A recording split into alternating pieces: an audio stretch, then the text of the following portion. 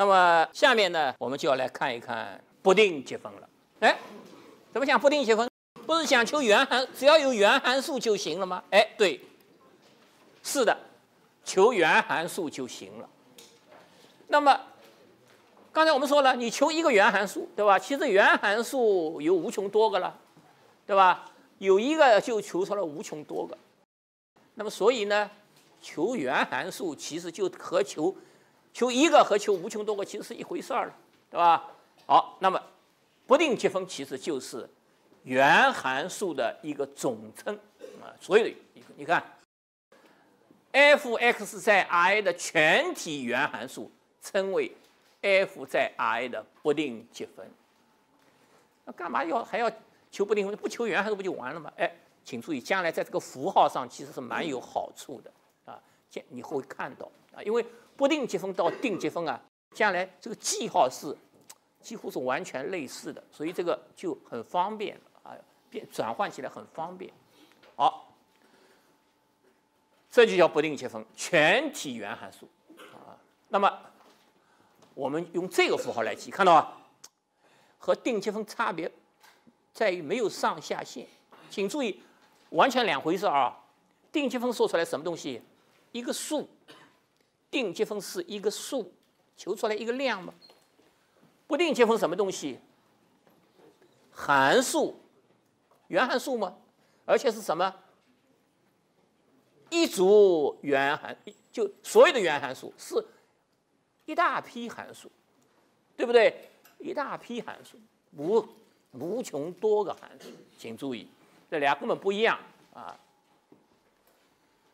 所以要注意了。另外，和变上限积分也要有区别。变上限积分什么东西？如果小 f 是连续的，对吧？啊，是这个 s 连续的，那么这个变上限积分就怎么样？就是一个原函数，因为导数就是小 f。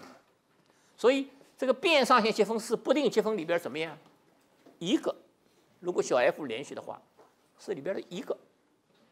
要注意，是吧？所以这些这三个东西都不一样，这常数。一个原函数，无所有原函数。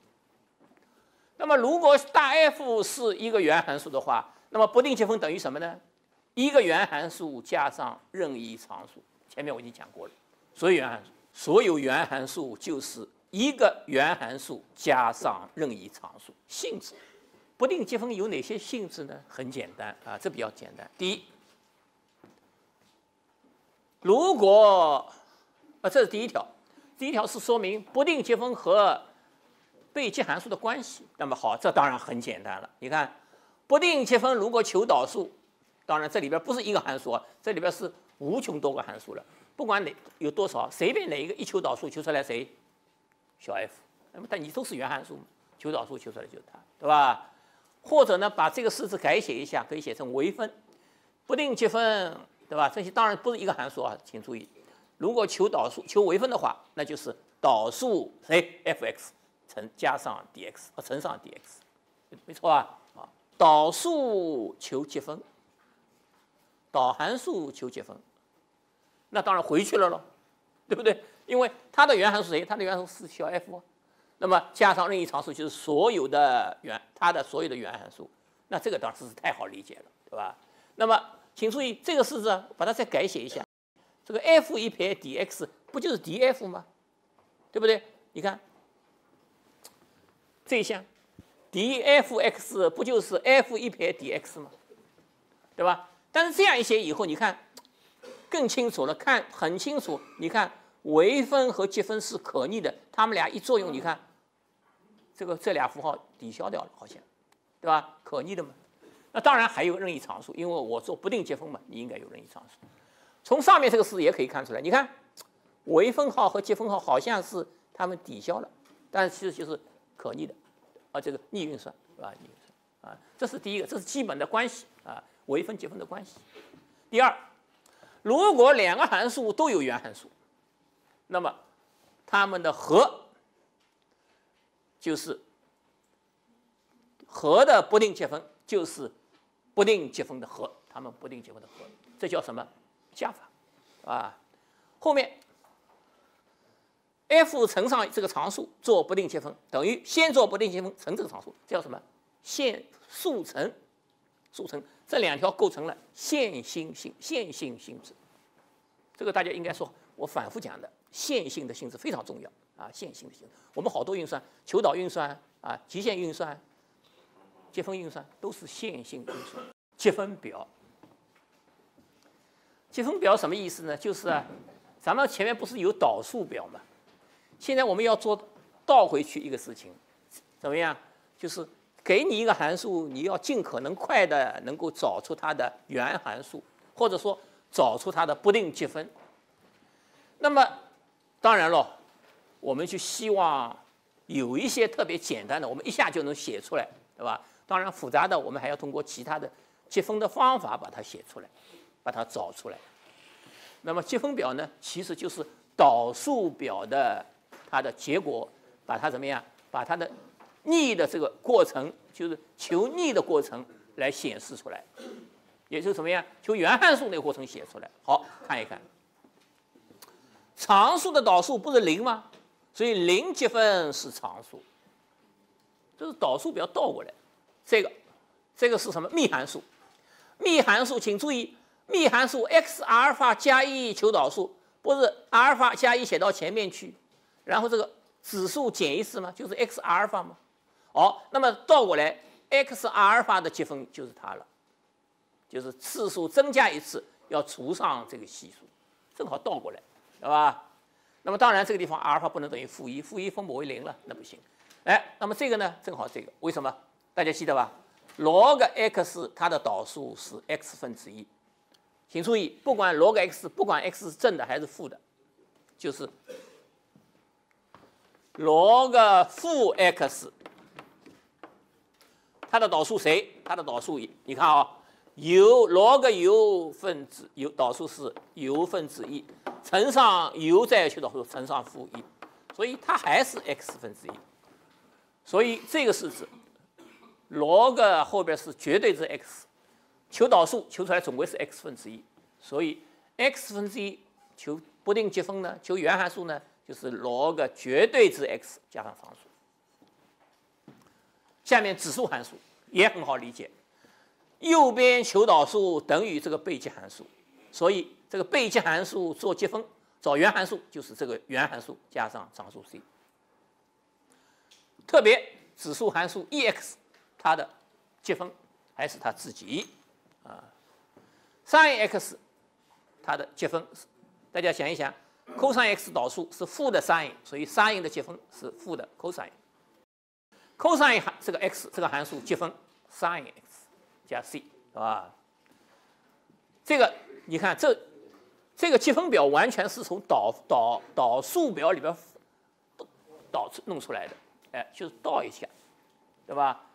逆的过程写出来的，并没有，你看积分表里没有这样的，没有，比如积分。接 Tanget x 啊，啊接 cotangent x，它不是它没有的，它是你看它接这样的东西，哎，很特殊。他们怎么接分接它呢？因为 Tanget 的导数是 secant 平方，没错吧？好，cotangent 的导数是 cosecant 的平方，所以 cosecant x 做积分接出来是负的 cotangent x，啊是导就导数表里边来的。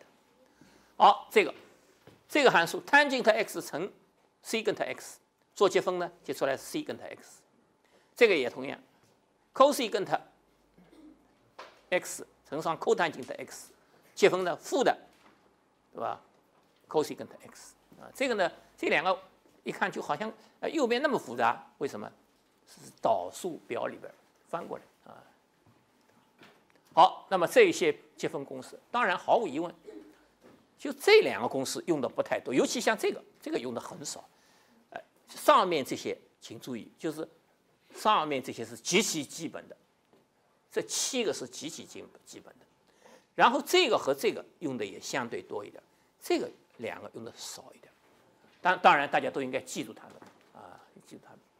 我曾经说过，导数表要像九九表一样的记住，积分表也这样，啊，积分表你看你自觉的要哎联想一下导数表就行了。后面还有几个，这个呢，请注意。这是二次函数，根号里边是二次函数，对吧？这在分母上，这个呢，大家想，如果是一的话，a 如果是一的话，正好是 sin x，arc sin x，对吧？反三角，反反正弦函数。那么这儿有 a 方，为什么这儿变成 a 呢？那你很简单，你只要把它求导数求一求，看是不是它就完了嘛？啊，很容易验证。同样，下面也是这样，求导数就能验证，啊。那么这几个呢，如一般说起来，上面这两个是用的极，下面上面三个是用的极其频繁的，上面三个用的极其频繁啊。那么这个呢用的少一点，这用的少一点啊。如果能记住的话最好了，记不住怎么样？你到时候就是可能要临时推公式了。那到到底等于什么？那就是有点欠缺了啊。那么这上面这三个应该记住它。那么这些积分表呢？当然，你慢慢慢慢会记住的啊，绝大部分同学都能记住的。因我相信，只要稍微用心一点啊，做题目的时候呢，啊，有意识的去啊记一下、背一下，那你应该说啊都能记住，像小学生背九九表一样背出积分表，要背出来啊，背出来会有很多好处，你方便很方便。积分表有了，那什么呀？当然有很多题目。很多函数，如果是积分表里边有的函数，或者呢是积分表里边通过加减、加和减或者乘常数这样的函数，我们就很好做了啊。下面先来举几个小例子，求下列不定积分。好，先看第一小题。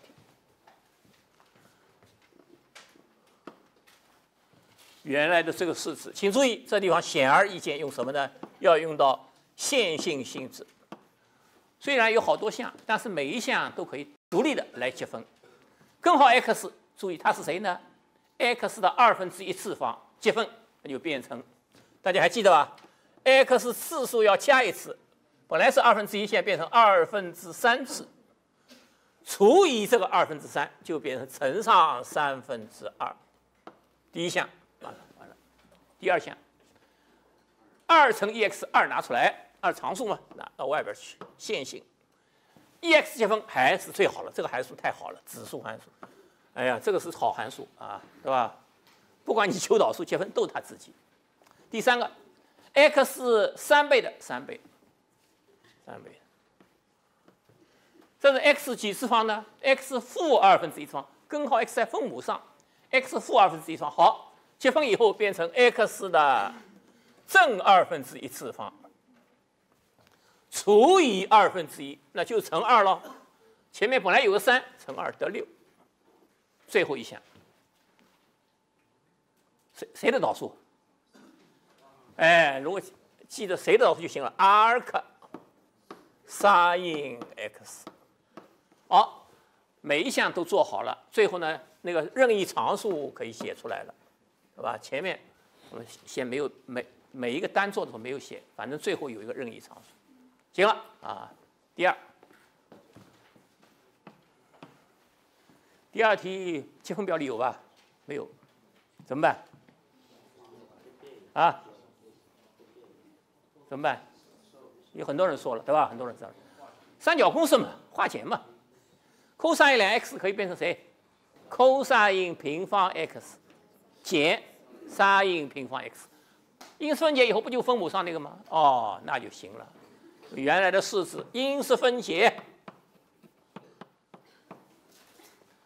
一分解好，cos x 平方，对吧？减去 sin x 的平方，因式分解以后一约好变成负的，是吧？cosine x 加上 sin x 负的 dx 没错吧？负的，因为。你这个是 cosine，因式分解以后有一项是 cosine x 减 sin x，一一除有个负号，负号放在里边的话就这样，当然可以拿出来。好，积分，下面简单了。Cosine 的原函数 sin，因为 sin 导数 cosine 嘛，有没有符号？没有符号，因为 sin 导数到 cosine 不增加符号，所以负的 sin x。sin 谁导导数？cosine 要符号连同它的符号一块儿好没错啊，很挺简单。第三，第三题怎么弄？哎，猜猜，说好了，对吧？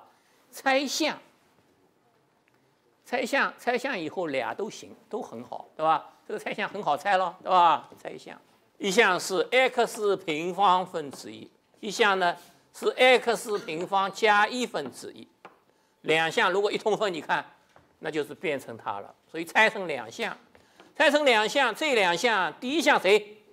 幂函数 x 负二次方，x 负二次方积分怎么解？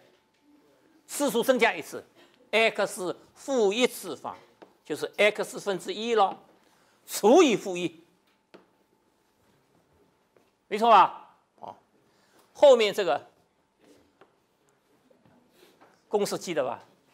它是谁的导数？arctangent？arctangent。好，原函数求好了。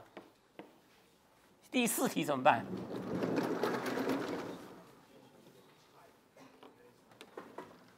这个显然公式表里没有，对吧？怎么办？一怎么样？其实也是怎么样？猜想。怎么猜？好像分子上没东西猜吗？哎，对了，很多同学也想到了。哎，你你分母上不是 sin 平方、cos 平方吗？那我分子上一个那个一，我给它拆开来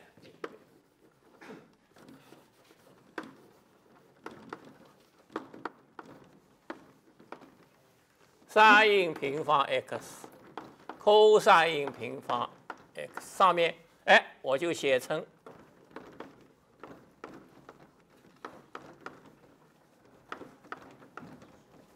写成这个，好了。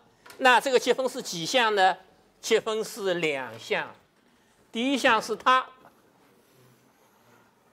看 sin 平方 sin 平方约掉了，cosin 平方 cosin x 平方分之一，谁呀？secant，谁的导数？记得吧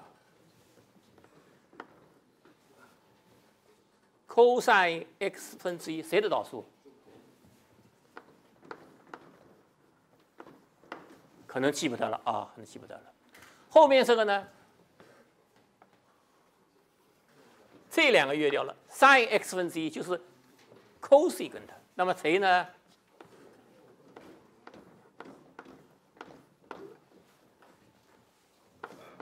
这个地方大家可能公式不太熟悉了。哎，这两个公式其实用的也很多的，大家可以再回顾一下，看一看。没错吧？他是谁 cosine x 平方的倒数，这是谁？sin x 平方的倒数。好，最后一个题，我们再看一下。这题当然比较简单了。两个指数函数怎么样？拆开来，分别求导数。第一个，三的 x 次方，记得吧？指数函数的积分公式还是指数函数。求导数会出来一个谁？log 三，先是积分，那就要除以 log 三。第二个减去，上面好像不是二 x，那很简单，这个 x 减一次方就相当于除个二了，好，把这个二写到前面来，那就是二分之一 log 二 x 了。二的 x 次方求导数，还是二的 x 次方除以 log 二，加上任意常数。好，今天我们就到这儿。